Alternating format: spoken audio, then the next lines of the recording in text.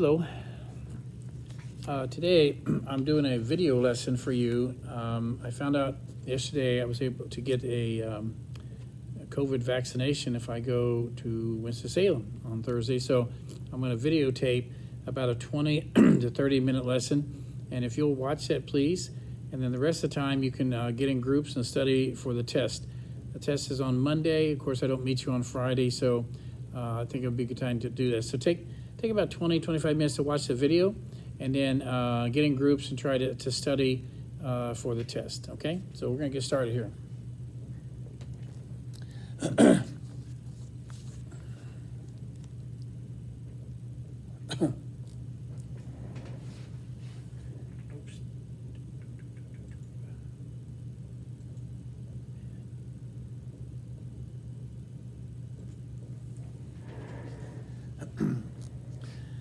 So what we do, the, the last part uh, of the lesson is to uh, application. Application is like the higher level. And so the things that you learned, all these proportionalities you learned about, uh, if you can apply them to real situations like in physics, uh, that's really my goal for you there. Uh, you can also use this, you can apply it to economic uh, equations, math equations, electronics, engineering you can do it with almost any place that you deals with uh, proportionalities, okay? Well, the one we uh, got done with today was uh, we talked about the butter gun, and that was to introduce you to the uh, inverse square proportionality, which is a very, very big one in uh, physics. Uh, most people can understand direct proportionalities and inverse proportionalities, but inverse square is found a lot in physics. If you take a look at the drawing here, when somebody stands on the Earth, they are already 4,000 miles away from the center of gravity. So they're one Earth radius away, and they might weigh, for example, 200 pounds, like it says there. now, if you were to move another 4,000 miles away from the Earth's surface, um, you would now be two Earth radiuses away. So the distance from the center of gravity would be two times bigger.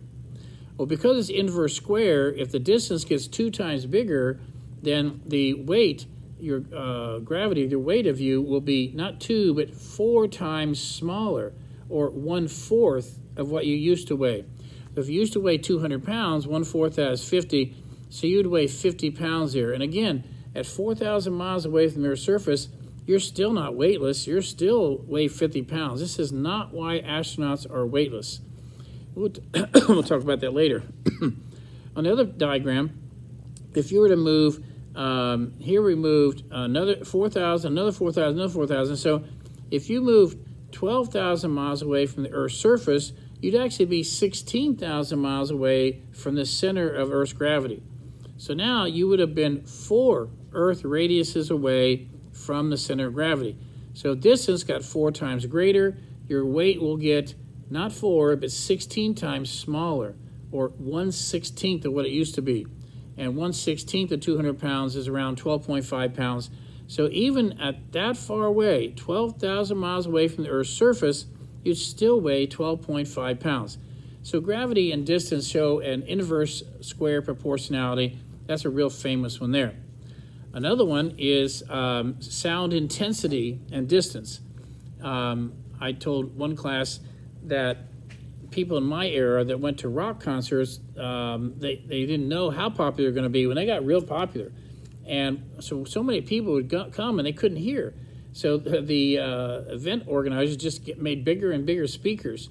And so if you were in the front, you thought you had a good seat, but you would get your ears blasted out with these great big speakers because they had to be huge to let the people in the back be able to hear the music. And so what happened is, of course, uh, people in my era, a lot of them that went to a lot of concerts, they uh, definitely became hard of hearing uh, by the time they were 50, even 60 years old. but anyway, uh, so let's say you were standing uh, way over here. Let's say you were right here. Let's say you were one, 10 feet, 10 feet away from the speaker, and you said, hey, uh, that sounds pretty good to me.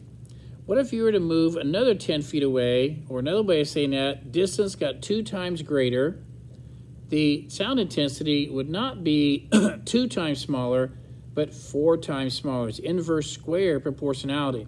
So it would sound as if it was only one fourth of the intensity. what if you moved all the way back here where you're one, two, three, four, five times further away from the uh, speaker. Now the intensity would be not five times smaller, but 25 times smaller. So it sound like 1 25th of the loudness to you. Uh, now, to prevent that nowadays, uh, people simply have some speakers for the people in the front, and then they hook up some other speakers back here. Now they don't have to blast people. Even even churches do that. You have speakers for the front people and speakers for the back people. There you go. so that's called that's another inverse square proportionality. um, another one that is very famous is light. Uh, light intensity, just like sound intensity, is inverse square. So if you were, and there are many, many ways of measuring light intensity. One of them is lux. Another one is um, candelas. Uh, another one is uh, the old one they used called foot candles, which was uh, how bright a light would be if you for a standard candle if you were seeing it one foot away. And we don't use that anymore, not, not very often, foot candles. But whatever unit that is, if you had a certain flashlight here and it was uh, a certain distance away from your eye, it would have a certain brightness. So let's just say that brightness is 100 lux. Well, what if you were to, to move twice as far away? Uh, the distance got two times further, then the light intensity would get not two times smaller, but four times smaller, or one fourth. So it would be cut down to maybe 25 um, units of light intensity. Anyway, it's the same story. and so light's interesting because uh, if you get too far away from a light, you, you, really don't get very much. The same thing happened in ninth grade when you used a microscope. When you switched from low power to high power, you actually saw, um, you spread that light even more. You only saw a little bit of the light. That's why it got so dim under high power. Okay, another one I want to show you is, um, famous one is um, radioactive decay. That's just a little uh, graph right here. And it's a thing called half-life. And half-life does this same thing where it's the amount of time it takes for half of this material to decay into another material, another chemical. And if you'll see that, it kind of goes through that same uh, decay principle there in uh, this kind of an inverse square proportionality there. Okay, I want to show you one other thing.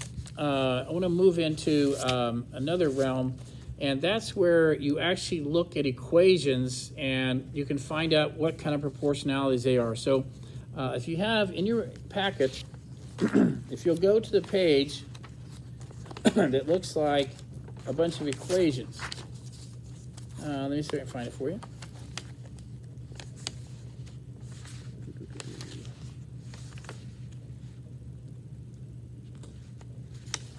Okay, here it is. so let's take a look at this right here. And this is also a thing called application. And I'm going to magnify just a little bit here. okay, maybe you see that a little bit better. And so what I want to do is, you now know that you could look at a data table and maybe figure out what the proportionality is. You now know that you could look at a graph and maybe figure out the proportionality. You know how to do a secondary graph to straighten out the curve to kind of prove what the proportionality is. But what if you were given an equation? So let's try a simple one. Uh, this is the one we uh, dealt with a long time ago, density. And density equals mass over volume. What I'm going to do is multiply both sides times V, and then I'm going to take the equation out of fractional form. So here we go, m equals dv.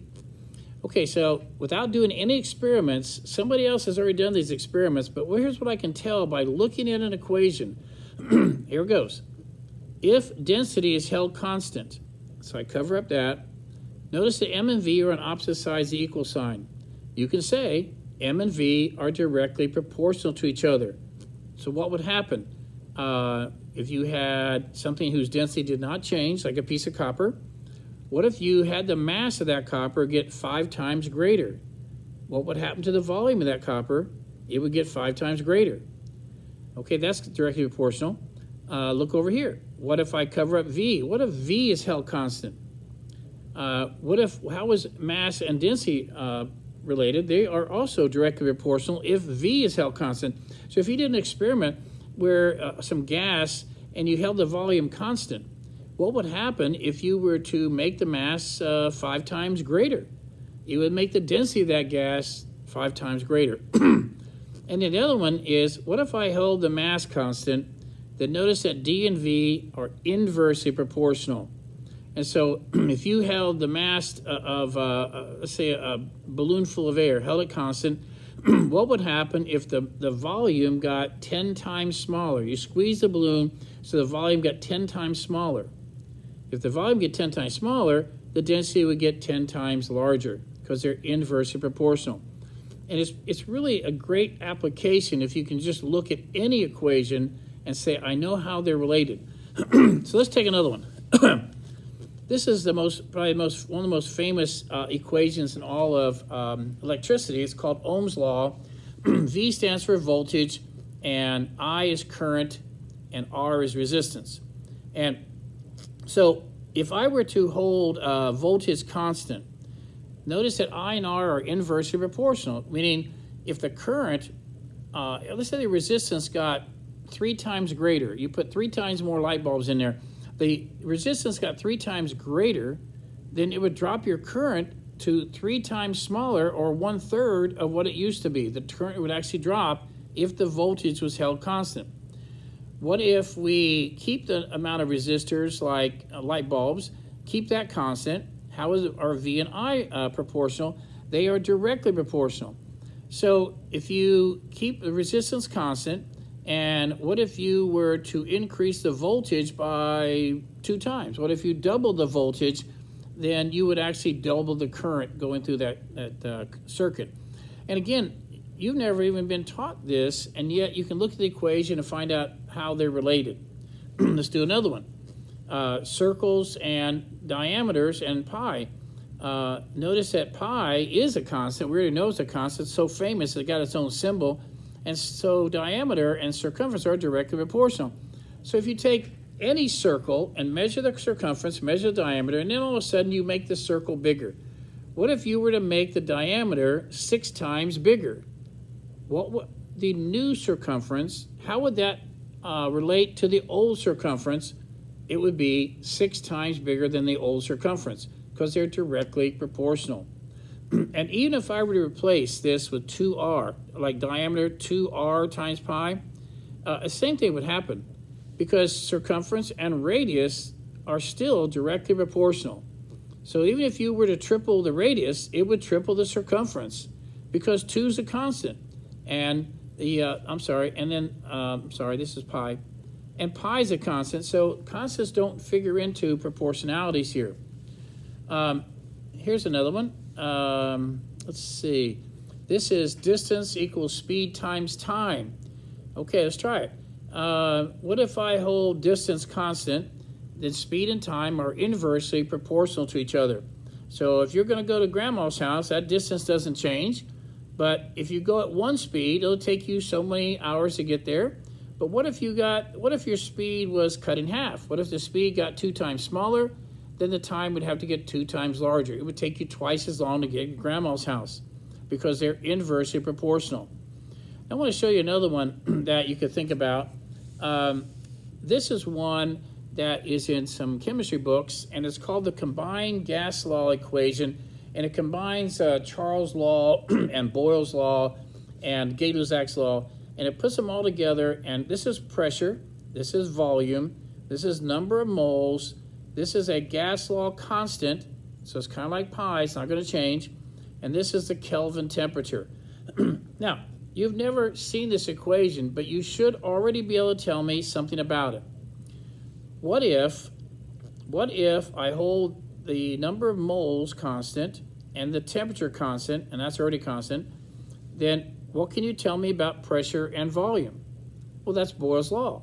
They're inversely proportional. If pressure were to go up, let's say five times greater, the volume of that gas would get five times smaller, go to one fifth of what it used to be. Let's try another one. How is pressure related to Kelvin temperature? That means all the rest of these have to be held constant, so don't look at them. Pressure is directly proportional to Kelvin temperature. So if the Kelvin temperature were to uh, get three times greater, then the pressure of that gas will get three times greater. Of course, the volume is not allowed to get any bigger. So temperature got three times greater, the pressure would get three times greater. Let's try another one. What would happen to, uh, how about volume? How is volume related to the number of moles? Okay, well, they're directly proportional. That's assuming you don't let the pressure change, you don't let the temperature change. So if you had a certain volume, imagine a balloon had a certain amount of uh, uh, moles of gas in it, and it has a certain volume. Now, what if you were to triple the number of moles of gas in there uh, without changing pressure or anything? It would actually triple the volume of that gas. What I think is amazing about this whole unit is that you can apply this to a graph. You can apply it to a data table. You can apply it to an equation, a chemical, or chemically, I mean, a, mathematical equation. And you can pick any one you want. We'll do one more, and I'll probably um, leave you with that. Let's go down here. The volume of a sphere, as you probably know, is 4 thirds pi r cubed. Now, if you look at that, what is 4 thirds? When is 4 thirds not 4 thirds? It always is. So it's a constant. And what is pi? It's a constant. What is a constant times a constant? It's another constant. So I can actually write here, I'm going to write this right here. I'm going to rewrite this and so you can see it. The volume of the sphere equals a constant times a constant, which is a constant, times r cubed. Now, think about that. That looks like one of the patterns. That's in one of the patterns here. But it's, which one is it? Direct proportionality? Direct square? Direct square root? Or is it something new? And if you think about the pattern, this is a direct cube proportionality. So volume is directly proportional to the cube of radius. Now what's interesting is, just like the direct square, direct square might look like this, a direct cube proportionality would simply increase a little bit faster. But it would still be, it would still fit the mold of the patterns we were looking at in a direct cube proportionality. So what would happen if I had a, a, a, a sphere and its volume was uh, x, and then you made another sphere whose volume was 3x. So what did I do? Um, what did I do to the radius? Radius got three times bigger. Radius got three times bigger. What effect would that have on the volume? How much water would this ball hold versus that one? And if you think about it, if radius gets three times bigger, the volume has to get three, no, three squared, no, three cubed times bigger. The volume will get 27 times bigger than it was before. Now, if this volume right here was 10, 10 cubic centimeters, then this one would have to be 27 times greater than that, 270 cubic centimeters. Now, you can say to yourself, I don't believe that. It's true, though. It's true. And so people have to know this. Like, imagine this. Uh, imagine that somebody had a, a pill that was in the form of a ball, a sphere, and they knew it had X amount of chemicals in there, and they said, you know what? Some people wanted to have double strength, and I think I'll just make this uh, new pill twice the radius or twice the diameter, either one. Uh, why would that be a bad idea? Because if the radius gets uh, two times bigger, what is the volume going to do? It's going to get not 2, not 2 squared, but 2 cubed. The volume of this is going to be 8 times greater. So whatever chemicals used to be okay and not kill people, you're going to give them 8 times that chemical, you're going to kill somebody. Okay, so that's what you have to be careful about. Maybe that person wasn't paying attention when they did proportionalities one day. So in a sphere world, if you uh, double the radius or diameter, then the volume increases eight times. This is very similar to that chapter you had on scaling. You just now know how it works mathematically. So what I want you to do the rest of the period is get in groups and look at all these equations and, and, and talk to each other and say, hey, if this is held constant, then these are directly proportional, and if you double that, this would double, and do all that for all these equations until you feel comfortable with it. And then also practice by picking a random uh, graph, a random data table, and see if you can figure out what proportionality it is. And then I think you'll be in pretty good shape for the test on Monday. Okay, so that's all I have today, and I will be back in school on Friday, uh, but I won't have your class. So if you want to come and see me on Friday, you can do that. Well, thank you very much for paying attention, and um, good luck on the test.